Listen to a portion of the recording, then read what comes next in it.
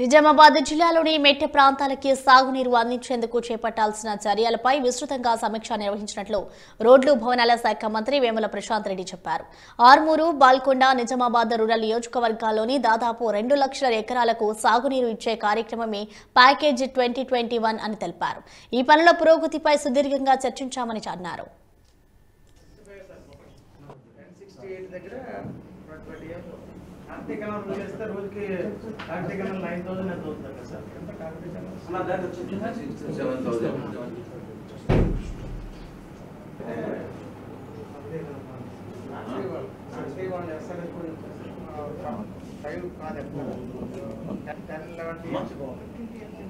నిజామాబాద్ జిల్లాలోని మెట్ట ప్రాంత రైతన్నల కోసం అంటే ఎక్కడైతే ఇప్పటికీ కెనాల్ ఇరిగేషన్ లేదో ఎక్కడైతే సాగునీటి సౌకర్యం అంతగా లేదో ఆ మొత్తం భూములన్నిటికీ నీళ్ళు ఇచ్చే కార్యక్రమం ప్యాకేజ్ ట్వంటీ ట్వంటీ వన్ ఇవాళ దాని మీద విస్తృతంగా రివ్యూ చేయడం జరిగింది.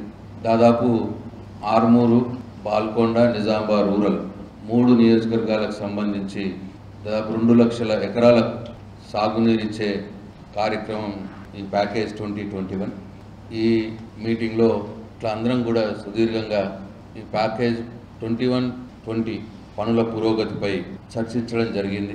అయితే దీని బేస్ ఏంటంటే దీని source package twenty twenty one అంటే ఏదైతే నిజామాబాద్ జిల్లాలోని ఆర్మూరు బాల్కొండ నిజామాబాద్ రూరల్ నియోజకవర్గ మెట్ట ప్రాంత రైతులకు నీరిచ్చే సోర్స్ ఏంటంటే Sriram Sagar project fore shore area Binola దగ్గర నుంచి నీళ్ళు తీసుకుంటాం. అక్కడి నుంచి టనల్ ద్వారా నీళ్ళు తీసుకొచ్చి సారంగపూర్లో పంప్ హౌస్లోకి తీసుకొస్తాం. అయితే ఆ మొత్తం టనల్ పని మొత్తం అయిపోయింది. సారంగపూర్ పంప్ హౌస్లో కూడా పనులన్నీ కంప్లీట్ అయిపోయినాయి.